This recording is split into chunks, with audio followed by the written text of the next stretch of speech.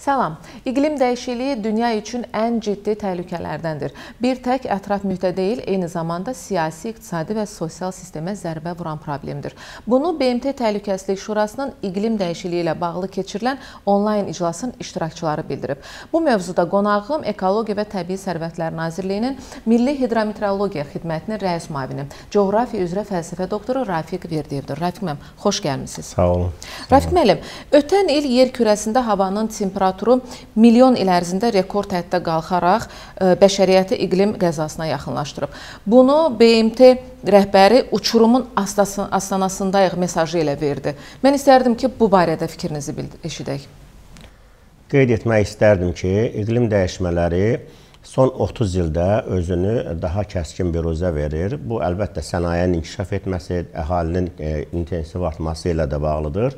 Və ona görə də temperatur artıq bir çox e, dünyanın bir çox regionlarında 1 dərəcədən çox yüksəlmişdir. Bu isə buxarlanmanın da artmasına və digər sahələrdə təsirlə özünü biruzə verir. Bu necə deyirlər, mütəmadi gedən prosesdir, templə gedir temperaturun artması. Ancaq təbii fəlakətlər, bu iqlimlə bağlı fəlakətlərin intensivliyi və miqyası artmaqdadır. Son illərdə siz özünüz də şahidi olursunuz. Həm daşqınlar, e, fırtına hadisələri, güclü küləklər və, və s. hadisələr, dolu yağ, yağan doluların miqdarı bu artmaqdadır. Elə Azərbaycanın özündə bir çox regionlarda və bundan başqa şimal bölgələrində dünya okeanının e, səviyyəsinin temperaturun artması nəticəsində deməli qalxması, bu ərimə nəticəsində bu kimi hadisələr də əlavə torpaqların deməli su ilə örtülməsi kimi proseslər e, problemlər yaradır. Yaşayış sahələri, əkin sahələri, sənaye obyektləri su altında qalır. Odur ki, əgər doğrudan da iqlim dəyişmələri ilə bağlı tədbirlər lazımi səviyyədə həyata keçirilməzsə, əlbəttə ki, o deyilən sözlər biz yaxın ola bilsin 20-30 ildə daha kəskin şəkildə biz onu görəcəyik, onu hiss edəcəyik və ona görə də qabaqlayıcı tədbirlər artıq atılmalıdır. Bu inkişaf etmiş sənaye ölkələri tərəfindən ilk növbədə hansılarda ki, bu karbon qazı, deyirlər karbon qazının atmosferə atılması nəticəsində, emissiya nəticəsində temperaturun yer səthində daha çox bu e, şüaların e, deməli e, şüaların yer səthində toplaşması nəticəsində qlobal istiləşməyə gətirir və bu da mən dediyim kimi temperaturun 1 1 dərəcədən çox və isti yay aylarında isə bəzən daha çox artması ilə nəticələnmişdir ki, bu kimi problem yaranmışdır. Burada xüsusilə e, həm e, e, Çin, Amerika Birləşmiş Ştatları, Rusiya, digər ölkələri burada göstərirlər ki, həmin bu ölkələrdə məhz ilk protokol var. Bu protokola görə bu ölkələr ən çox emissiya atmosferə atan ölkələrdir və bu ölkələr ilk növbədə öz emissiyalarını lazım hüdudda saxlamalıdırlar. İndi Azərbaycan da özü də öz istəyi ilə müəyyən öhdəlik götürmüşdür. Biz 90-cı e, illə müqayisədə atılan bu emissiyaların miqdarını 35% azaltmaq öhdəliyi özümüz götürmüşük və əlbəttə ki, müvafiq addımlar da atılır ölkədə. Bu ilk növbədə mazotun əvəzinə enerji istehsalında təbii qazdan istifadə etmək, alternativ enerji mənbələrindən istifadə etmək e, kimi atılan addımlarla özünü göstərmişdir. Və Parisdə 2016-cı ildə məhz görüş zamanı bu məsələ qoyuldu və ölkələrdən rica olundu, xahiş olundu ki, onlar öz öhdəliklərini bir daha e, elan eləsinlər və onu əlbəttə ki, ona əməl etmək üçün öz proqramlarını e, hazırlasınlar, proqramını icra etsinlər və bu proqramın icrasında da müəyyən şəffaflıq mexanizmi olmalıdır ki, doğrudan hamı görsün ki, proqram icra edilir və bu emissiyaların miqdarı azalır və burada da məqsəd belədir ki, 90-cı illərlə müqayisədə temperaturun artmasının 1,5-2 dərəcə, düzdür, 1,5 o qədər real görünmür, amma 2 dərəcə hüdudunda saxlanılması məsələ kimi qarşıya qoyuldu. Yox, əgər proses belə davam eləyərsə, tutaq ki, karbon qazı indi proqnoz verilir ki, 2 dəfə arta bilər. Əgər bu 2 dəfə artarsa, bu isə əsrin sonuna temperaturun 4-5 dərəcə artması ilə nəticələnə bilər ki, bu da həmin o dediyiniz hadisələr əlbəttə ki, çox kəskin şəkildə özünü biruzə verər təhlükəli hadisələrin təsirləri, onların vurduğu ziyanlar, insan fəlakət, insan ölümü və digər fəlakətlər daha kəskin şəkildə deməli bir özünü büruzə verə bilər. Rafiq müəllim, yeri gəlmişkən dünyanın məşhur Microsoft şirkətinin sahibi, yəni e, milyarder Bill Gates öz blokunda yazmışdı ki, bəşəriyyətə qlobal böhran və fəlakət gəlir. Hətta o bununla bağlı e, ABŞ prezidentini də xəbərdar etmişdi ki, yəni bununla bağlı doğrudan da bir qurum yaradılmalıdır, qruplar yaradılmalıdır və bununla bağlı ciddi addımlar atmalıdır. Siz də biraz əvvəl sadaladınız ki, təbii ki, burada e, Çinin də böyük rolu var, çünki sənayenin birbaşa bununla əlaqəsi var.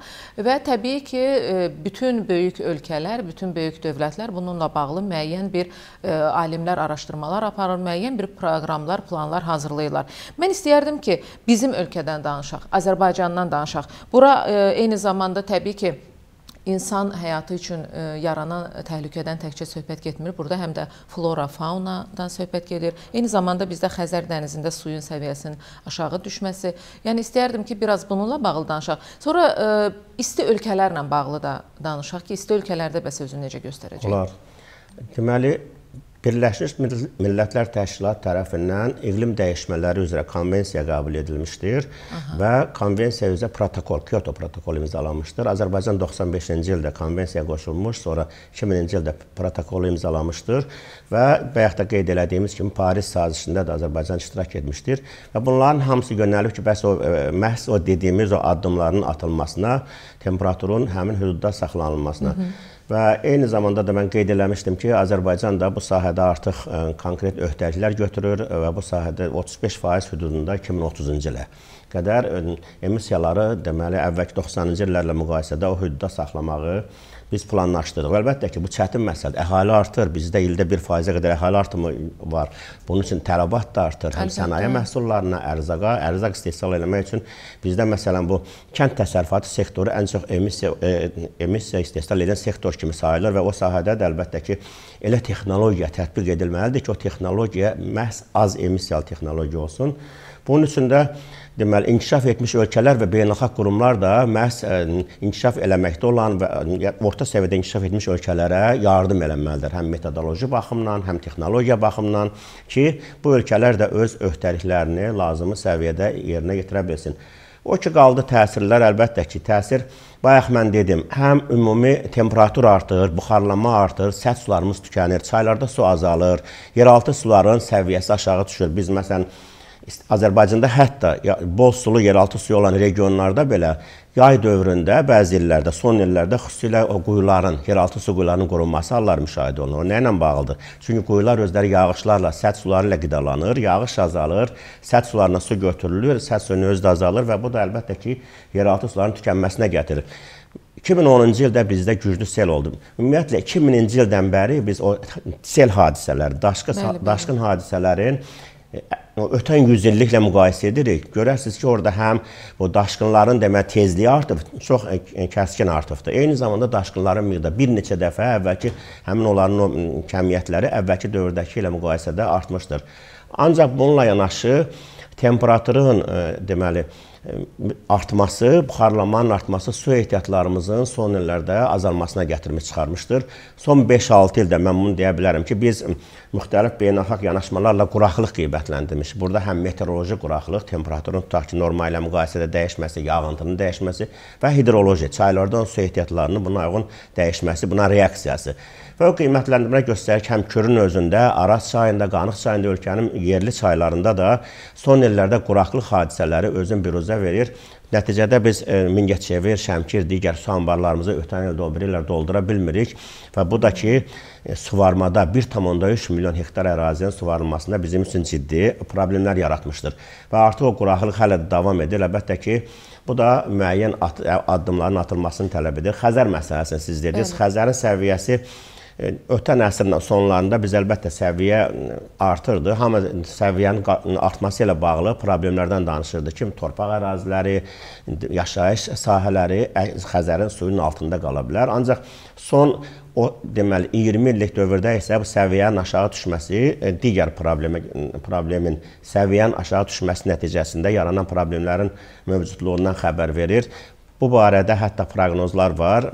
Məsələn, Almaniya alimləri xəbər verir ki, bu bir neçə metr ola bilər, daha daha çox ola bilər. Ancaq biz özümüz də qiymətləndirmə aparırıq. Həm bu Xəzərə gələn çayların, Volqa çayının, digər çayların sululuğunun dəyişməsini qiymətləndiririk. Daha sonra Xəzər səviyyəsindən buxarlanmaya əsasən biz müxtəlif ssenarilərə görə belə hesab edirik ki, Xəzərin səviyyəsində müəyyən azalma daha çox ehtimal olunandır. Ola bilsin ki, yaxın 30-40 ilə bir neçə santimetr bu azalma davam edəcəkdir. Ancaq ola bilsin yarım metr əsrin sonuna 1 metrə qədər, metr yarım belə də ola bilər. Ancaq o deyilən formada 3-4 metr o, o qədər real olmağa oxşamır. Çünki nəyə görə? Bir neçə ssenarilər artıq Azərbaycan özü ssenar işləyib də bu əsrin sonuna qədər. O ssenarilərdə həm temperatur üzrə biz proqnoz veririk, həm yağıntı üzrə və onun nəticəsində qeyd elədiyim kimi su ehtiyatlarımıza bu necə təsir edəcək, kənd təsərrüfatı məhsullarına, vegetasiya dövrü necə təsir edəcəkdir, Xəzərin səviyyəsi necə təsir, bunları qiymətləndirmələr aparırıq. Və o ssenarilər özləri göstərir ki, Xəzərin sahilyanı ərazilərində məhz bir çox ssenari göstərir ki, yağıntı arta bilər. Və bu yağıntının artması eyni zamanda temperaturun artması nəticəsində buxarlamanın artmasına qarşı müəyyən mənada bir ə, e, tarazlayıcı rol oynayacaqdır Hı -hı. və Xəzərin səviyyəsi inanmıram ki, böyük miqyasda aşağı düşsün. Bu, bu sahədə. Ancaq Kürün hövzəsinə gəldikdə biz qonşu dövlətlər tərəfindən məlumatlara tanış oluq. Onların iqlim ssenariləri göstərir ki, Kürün hövzəsində doğrudan da bu azalma davam edəcək. Əgər birinci ssenari, o necə deyirlər, pessimist ssenari üzrə baş verərsə, ölkə dövlətlər, ölkələr lazım olan addımı atıb emissiyanı azaltmasalar, onda temperaturun 4 dərəcə və daha çox artması bizim su ehtiyatlarımızın əlavə 35-40% azalması nəticələnə bilər. Yox, əgər optimist ssenari hansında ki, müəyyən işlər görüləcək, temperaturu biz çalışıb 2 dərəcə hüdudunda saxlayacaqsa bu artımı onda əlbəttə ki, yenə bir 15-20% suyumuzun azalması mövcuddur. Ancaq buna uyğunlaşma tədbirləri də var. Ölkədə bu sahədə də layihələr həyata keçirilir. Həm bu alternativ mənbələrdən istifadə üzrə bağlı layihələr həyata keçirilir. Eyni zamanda sudan səmərəli istifadə. Yəqin ki, sizin də xəbəriniz var. Bəli. Bizim su kanalları 14 milyard, 13 milyard su götürülürsə, 14 milyardı əgər itkiyə gedirsə, cəmi bunun 70%-dən istifadə olunursa, hətta o istifadə olunduğu yerlərdə də müasir suvarma metodu yoxdur, metodologiya, texnologiya yoxdur və bunun nəticəsində də əlbəttə orada da əlavə itkilər olur və bu da su qıtlığına gətirir. Nəticədə siz özünüz deyirsiniz, flora, fauna, çay ekosistemi. Çay ekosistemi təkcə çayda olan canlılardan ibarət deyil. Çayın təbii ətrafı ki, ərazilər də, oranın florası var, faunası var, bataqlıq var, çəmənliklər var və eyni zamanda çayı qidalandıran yeraltı sular var ki, çayda su çox olanda həmin su çayın ətrafında çıxarır, bu yeraltı suları qidalandırır. Eyni zamanda çayda su azalanda yay dövründə həmin o yeraltı sular nə artıq özləri çayı qidalandırmağa başlayır və bu da çayda ilin bütün dövrlərində, bütün fəsillərində su olmasına su olmasını təmin edir. Ancaq biz həmin çayın ekoloji axımını təmin etməsək, yəni yay aylarında görürük bir çox çaylarımız quruyur. Çünki suyu götürürlər. Əgər o ekoloji axım bəli, bəli təmin etməsək, deməli çay özünə özü özündə su olur, nə də ki özünün flora faunasını, ekosistemini su ilə təmin edə bilmir. Eyni zamanda çayla sıx əlaqəli olan yeraltı sular da kifayət qədər çayın hesabına qidalanmır və nəticədə onların da səviyyəsi aşağı düşür və bu kimi problemlər yaranır. Adətən biz regionlarımıza səfər edəndə və ya regionlardan hər hansı bir e, insanlarla ünsiyyətdə olanda, misal üçün eşidirik ki, onların kəndlərindən, misal üçün rayonlarından gələn hansısa bir axıntı çayda, e, onlar deyirlər ki, bir neçə illər əvvəl daha gür idi bu çayın suyu, amma indi azalıb və ya indi tamamilə quruyub və eyni zamanda sizin qeyd etdiyiniz kimi mövsümü quruluq olur. Bir də bir məsələ də isti ölkələrdə bu özünü necə bir özə verir? Misal üçün e, isti ölkələr var, bir də yayı istisi, istiliyi uzun olan ə, e, ölkələr var.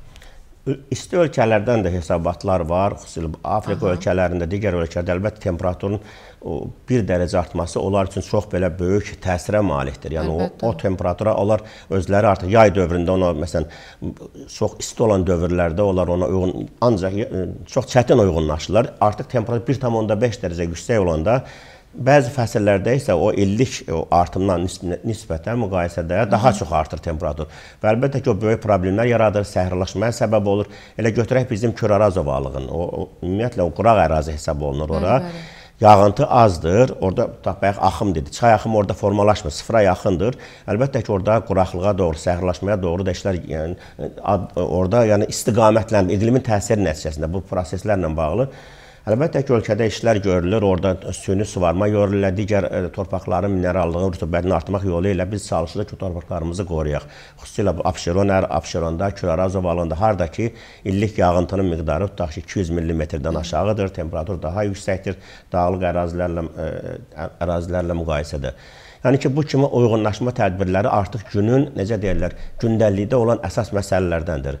Müxtəlif beynəlxalq qurumlar tərəfindən dəstəklənən layihələr həyata keçirilir. Həm alternativ mənbələrdən istifadə etməklə iqlim dəyişmələrinin özünə gətirən təsirləri azaltmaq, həm də iqlim dəyişmələrinin təsiri nəticəsində həmin bu sektorlara, sahələrə, ekosistemə, floraya, fauna vurula bilən o zərərin qarşısını almaq üçün həmin o sektorların özlərinin bu iqlim dəyişmələrinə uyğunlaşdırmaq. Bu sahədə məhz biz müxtəlif tədbirlər həyata keçiririk. Qasım, əslində dünyada baş verən e, bütün proseslərdə, yəni istər misal üçün virusla bağlı söhbətlər olsun, istərsə qlobal istiləşmə ilə bağlı, bu birbaşa təbii ki, insanlarla da əlaqəlidir də. Yəni bunun nəticəsini, e, mənfiliyini insanlar da görəcək. Mən düşünürəm ki, burada insanların da üzərinə böyük məsuliyyət düşür. Əlbəttə ki, biz ilk növbədə qənaətlə yəni biz dünyanın etmək. problemi, ölkənin problemi deyib üstündən keçməməliyik. Yox, dövlətlər tərəfindən olaraq. əlbəttə ki, dövlətlər ümumi iqtisadi siyasətə təsir göstərir, onlar müəyyən edirlər. Kənd təsərrüfatı siyasətinə Bəli. əlbəttə dövlət tərəfindən atılan addımlardır. Ancaq əhali yerdə bunun icraçısıdır. Hər Bəli. birimiz birinci bütün bu e, təbii resurslardan qənaətlə istifadə etməliyik. Təbiəti qorumalıyıq. Yəni öz evimizi necə qoruyuruq, təbiətə də yanaşmalıyıq. Təbiəti qorumalıyıq ki, bu kimi problemlər olmasın. Əlbəttə ki, temperatur kəskin olanda, artanda yay ərzində tutaq ki, və yaxud da hər hansı bir e, təbii fəlakət zamanı biz onu sağlamlığımıza təsir eləyir. Ya ona görə də biz bunu hiss eləməliyik və çalışmalıyıq ki, bu proseslərdə yaxından iştirak edək.